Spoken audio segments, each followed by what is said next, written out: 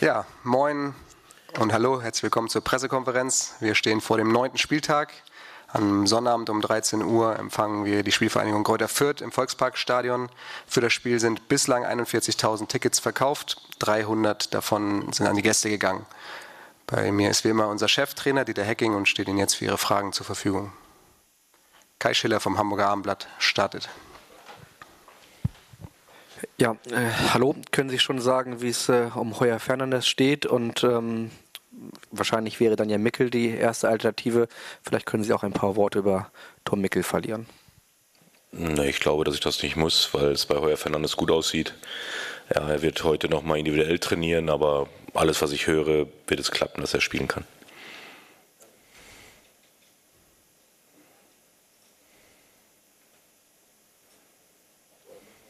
Dann gerne nochmal. Vielleicht können Sie dann sagen, wie es in der Abwehr aussieht. Ähm, da fällt Gideon Jung ja aus. Ähm, ja. Die Alternativen sind. Wissen Sie mehr wie ich? Nee, das haben Sie ja, also Sie haben es zumindest gesagt. Ich habe nichts gesagt. Das war, dann hat die medizinische Abteilung, also fällt er nicht aus? Ich habe nichts gesagt. Anders gefragt, gibt es Chancen, dass er spielt? Ich habe nichts gesagt. Deswegen frage ich. Immer eine Chance da. Wenn ich nicht sage, dass er nicht spielt, hat er immer eine Chance zu spielen. Aber das würde mich jetzt wirklich überraschen. Also ich dachte, dass er ausfällt, weil das war der letzte Stand, der mir kommuniziert worden ist. Ähm, ja, aber das ist ja Stand von wann? Drei Tagen, genau. Ja. Also gibt es eine Chance, dass er spielt? Es gibt immer Chancen, klar. Bei verletzten Spielern, wo die Verletzung nicht so extrem ist, äh, dass wir sagen, dass er definitiv ausfällt. Und die Aussage hat, glaube ich, keiner getroffen von uns, dass er definitiv ausfällt. Nee, aber sah ja so aus, deswegen habe ich gefragt. Weiß ich nicht, was Sie gesehen haben, was ich gesehen habe. Ich war zwar einen Tag nicht da, vielleicht haben Sie da was anderes gesehen, aber. Ich war auch einen Tag nicht. Also definitiv ist es so, dass der Einsatz steht auf der Kippe, ja. Aber es ist immer noch die Chance da, dass er spielen kann. Worauf ich hinaus will, ich hoffe ja, dass er spielt, wenn er nicht spielen kann. Dann mache ich mir Gedanken, wenn er nicht spielen kann, dann mache ich mir Gedanken. Und das kann ich im Moment noch nicht sehen. Na gut, Dankeschön. Babak Milani von der Bildzeitung. Äh, Dieter, kannst du aber konkret bei Jung sagen, wie der Ablauf jetzt ist? Äh, muss er auch individuell erstmal, wird er gepflegt? Äh, was, was macht ihr Reha-Training und wie ist Wir sind so darauf eingestellt, Tage? ja, es sind noch zwei Tage Zeit, genau, und die werden wir vollkommen nutzen. Ja, auch im Sinne dessen, dass wir natürlich auch in, klar ist dann die Länderspielpause danach, das ist immer das abzuwägen, ob wir das Risiko gehen wollen. Danach haben wir 14 Tage Pause bis zum Bielefeld-Spiel und wie gesagt, da lege ich mich selten frühzeitig fest, dass ein Spieler nicht spielt. Wenn ich irgendwo die Hoffnung noch haben kann, dass es geht. Das ist kein Muskelfaser, es ist eine Zerrung und eine Zerrung, das kann auch mal schnell gehen, dass das, wenn man ihn morgen voll belastet, dass er plötzlich merkt, hey, das sieht doch viel besser aus als wie gedacht. Und von daher ist die Chance 50-50, dass er spielt oder nicht spielt. Heißt es, wenn er, heißt es, wenn er morgen auf dem Platz steht, mittrainiert, dann dann also, könnte es durchaus klappen. Das werden wir dann entscheiden, ob er morgen trainiert. Wenn wir morgen, wenn er morgen nicht trainiert, dann spielt er nicht. Das ist ja klar. Martin Sonnleitner von der Welt. Herr Hecking, weil es zur Personalie passt, irgendwie wäre ja David eine Alternative, eine Möglichkeit. Können Sie was zu dieser Personalie sagen und äh, insgesamt vielleicht ein paar Sätze dazu, ähm, welche, wie wichtig es ist, irgendwie junge Leute an die Mannschaft ranzutragen? Wenn ich jetzt konsequent wäre, würde ich sagen, noch ist ja Gideon Jung nicht dabei. Also noch steht ja die Chance, dass er spielt. Also beim Torwart ist ja genau das Gleiche. Und beim Tom Mickel habe ich nicht großartig was gesagt. Und äh, wir haben die Alternativen. Und Jonas David ist eine Alternative wie im Tor Tim Mickel oder Tom Mickel und Julian Pollersbeck. Und Jonas hat es die letzten Wochen gut gemacht. Ja, er hat sich, hat sich stetig weiterentwickelt. Er ist eine von drei möglichen Alternativen. Ja, äh, was mich ein bisschen gewundert hat, dass ihr Papadopoulos nicht aufgezählt habt bei den Alternativen. Ja, äh, Papa hatte zwar seine Wadenverletzung, aber ist seit Dienstag voll im Training. Ja, und hat gleich in den beiden Einsätzen, die er gespielt hat, durchaus gezeigt, dass man auch mit ihm voll rechnen kann. Also auch Papa ist sicherlich eine Alternative, sollte Gideon ausfallen, genauso wie Timo Letschert, ja, der natürlich jetzt die ersten Minuten gehabt hat. Da gilt es abzuwägen, ist er bereit für 90 Minuten. Ja, und das ist eigentlich die Kurzgeschichte für die Alternativen, wenn Gidi nicht spielen kann. Aber auch da habe ich mich noch in keinster Weise festgelegt. Junge Leute perspektivisch? Ist immer toll. Aber die Qualität muss da sein und die Leistung muss stimmen, weil sonst macht das mit jungen Leuten auch keinen allzu großen Sinn. Und ähm, ich weiß noch, dass Josh Wagnermann sehr kritisch gesehen worden ist nach seiner Vorbereitung, die auch nicht ähm, sehr gut war, das muss man ehrlicherweise zugestehen, aber der dann auch in den Spielen über die U21 sich Selbstvertrauen geholt hat, ähm, ist dann gut reingekommen in die, in die Zweitligaspiele. Ja, und das sage ich ja immer, man muss diesen jungen Spielern dann auch das Vertrauen geben, wenn es dann mal nicht gleich so rund läuft. Ich weiß, dass die Kritik an Josh äh, nach dem Pauli-Spiel äh, zu hören war, die ich so nicht teile, weil darum geht es nämlich dann auch. Wir können nicht einerseits junge Spieler fordern oder sagen wir, der HSV muss junge Spieler reinwerfen und wenn sie dann spielen und bringen vielleicht noch nicht die Leistung in ihrem ersten Spiel, ja, dann sofort wieder die Kritik anwenden. Und deshalb ist das immer so ein schmaler Grad. Voraussetzung ist dafür, dass ein, wenn ein Jonas David spielen sollte am Samstag, dass wir davon überzeugt sind, dass er dann auch gut spielt. Und da hat er in den letzten Wochen viel Eigenwerbung betrieben. Kai-Uwe Hesse von der Bildzeitung, ist die Frage noch aktuell? sind Sie ja schon fast einen Schritt weiter als äh, mögliche theoretische Abwehralternativen.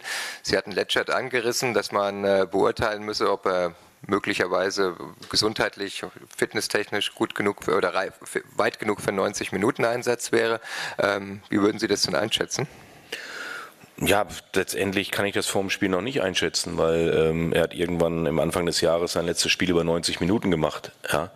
Und ähm, das ist immer dieses Frage der Abwägung. Klar, wenn wir ihn morgen äh, am Samstag bringen würden, ja, dann ist es eben so, dass ich nicht genau abschätzen kann, wie weit die Kraft schon reicht. Ja, es wäre sein erster Pflichtspieleinsatz vom Beginn an, glaube ich, seit Februar, wenn ich richtig informiert bin.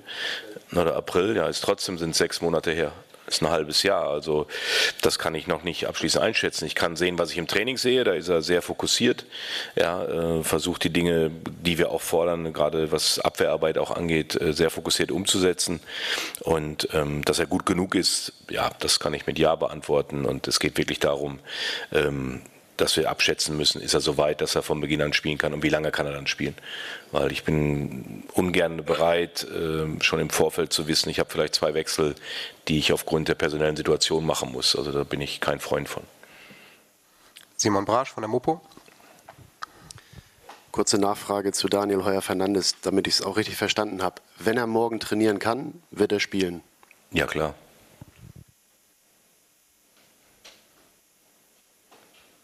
Kai-Uwe Hesse nochmal von der Bildzeitung. Und, und, das, was da äh, diagnostiziert wurde bei ihm, war auch eine Zerrung oder war das noch weniger? Ja, das war eine leichte Zerrung, so wurde es mir kommuniziert. Und er hat gestern schon wieder was gemacht im Kraftraum, das war beschwerdefrei. Er wird heute mit dem Kai, denke ich, noch ein bisschen was arbeiten. Und im Moment spricht nichts dagegen, dass er morgen trainiert. Aber es kann natürlich nach dem Training auch wieder anders aussehen. Martin Sonnleitner von der Welt. Herr Hecking, mal zu anderen Positionen, wo Sie ja die Qual der Wahl haben, kann man sagen, dass auf, der, ähm, auf, der, dass auf den Flügeln ähm, Narei und Jatta so ein bisschen außen vor sind, ähm, Harnik und äh, Sonny Kittel gesetzt? Nein. Über zwei, also über vier Alternativen verfügen sozusagen. Über mehr noch. Jairo Samperio ist der fünfte. Ja, also wir haben genügend Alternativen. Xavi Ameichi ist auch eine Alternative, der sicherlich momentan noch nicht ganz so nah dran ist, aber auch Jairo ist ein ganz ernstzunehmender Kandidat. Also nur weil mal eine Aufstellung zwei Spiele ineinander so war, muss das nicht heißen, dass es gegen Fürth genauso aussieht am Flügel. Ja, wir machen es ja auch ein Stück weit vom Gegner abhängig, was für Spielertypen wir, denke ich, brauchen können für dieses Spiel. Ja, und ähm, Bakriata, Khaled Narei haben wir schon auch in dieser Saison deutlich nachgewiesen, dass sie für uns richtige, wichtige Alternativen sind. Jairo noch nicht ganz so, aber Jairo drängt sich äh, in jeder Trainingswoche mehr auf. Ja, und vielleicht ist er auch mal derjenige, der am Wochenende die Chance bekommt, am Flügel zu spielen.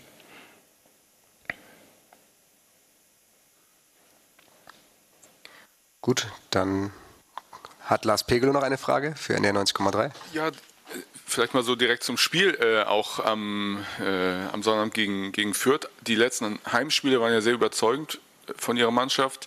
Ähm, glauben Sie, dass äh, Ihre, Ihre Mannschaft auf dem Weg ist oder Sie allgemein auf dem Weg sind, hier eine, so eine Festung äh, aufzubauen? Wir werden sicherlich auch irgendwann mal ein Heimspiel verlieren können. Ja, das ist nicht ausgeschlossen. Und es ist immer wichtig, dass du möglichst viele Heimpunkte holst, weil in der Regel holst du mehr Heim- wie Auswärtspunkte. Und ähm, mich freut das natürlich, dass wir bislang schon zehn Punkte geholt haben aus vier Spielen. Das ist natürlich eine erfreuliche Zwischenbilanz, aber wir dürfen uns natürlich in keinster Weise zu sicher sein, dass das immer so weitergeht. Und wir müssen auch am Samstag sehr viel investieren in dieses Spiel gegen einen Gegner, der äh, vor den beiden letzten Jahren gerade in Stuttgart das ähm, war ein richtig gutes Spiel von Kräuter Fürth. Ja, das hätten sie nicht verlieren dürfen, aus meiner Sicht. Ja, da waren sie sehr, sehr aktiv, haben, haben wirklich ein gutes Spiel gemacht. Ja, jetzt gegen Kiel war es, war es nicht so gut, aber davor haben sie, glaube ich, auch vier oder fünf Spiele gar nicht verloren gehabt. Also da kommt auch wieder eine Mannschaft, die, die Fußball spielen will. Das ist ähm, ihr Ansatz vom, vom Trainer, vom Stefan Leitl, dass er ähm, wirklich versucht, auch die fußballerische Linie in Fürth durchzuziehen. Und das sieht, sah gerade in Stuttgart sehr, sehr gut aus und das wird sich sicherlich eine Aufgabe für uns am Wochenende, die, die man nicht mal eben so im Vorbeigehen löst. Ja, andererseits klar, wollen wir natürlich zu Hause die Serie ausbauen und äh, damit auch den nötigen Respekt bei allen Gegnern uns abbringen lassen, dass wir eben zu Hause wirklich sehr stabil sind. Das wird immer wie immer ein Zusammenspiel sein zwischen Platz und auch auf den Zuschauerrängen. Das war in den letzten Spielen sehr, sehr gut und wenn wir es wieder schaffen, da den, den Funken überspringen zu lassen, dann bin ich auch optimistisch, dass wir auch am Samstag gewinnen. Kai-Uwe Hesse. Es ist ja bisher in dieser Saison ähm, sehr vieles gut bewertet worden oder teilweise auch sehr gut. Ähm, andererseits, so in den letzten drei Spielen hatte man ja zweimal so ein bisschen Schwierigkeiten in das Spiel richtig reinzukommen. Ähm, was kann man als Trainer dagegen machen? Ja, ich glaube, dass es immer ein Stück weit auch Erwartungshaltung ist. Ja, ähm, wie man, wie man gewisse Dinge im Vorfeld sieht, betrachtet. Ja, und ähm, im Moment muss ich sagen, dass wir immer noch, und ich wiederhole mich da gerne und immer wieder aufs Neue, in einem Prozess sind. Ja, wir haben eine, eine total neu formierte Mannschaft, die auch mal lernen muss, mit solchen Ergebnissen wie in St. Pauli oder auch mit Gegenwehr wie in Regensburg umzugehen. Wobei in Regensburg, sage ich nochmal, dass das weniger am Gegner lag. Ich will die Leistung von Regensburg dadurch nicht schmälern.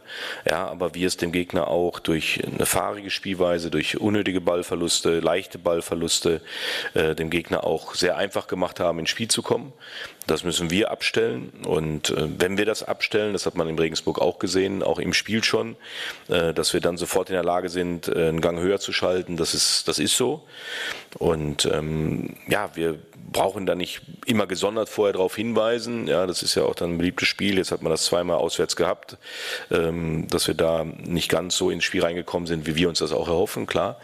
Ja, aber da gibt es jetzt keine besonderen Maßnahmen, glaube ich, um das abzustellen. Ich glaube, das Wichtigste ist, dass die Mannschaft von dem, was sie auf den Platz bringen soll, überzeugt ist, dass sie mit dem Vertrauen in die eigene Qualität auf den Platz gehen ja, und, und ihr Spiel durchziehen müssen. Und darauf wird es jetzt ankommen. Ne? Und wie gesagt, das sehe ich jetzt nicht als das ganz große Bedürfnis an, immer darauf hinzuweisen, dass wir mal bitte äh, in den ersten halben Stunde ähm, wacher über den Platz gehen sollten, weil wir haben ja auch schon sechs Spiele gehabt, wo es sehr gut war.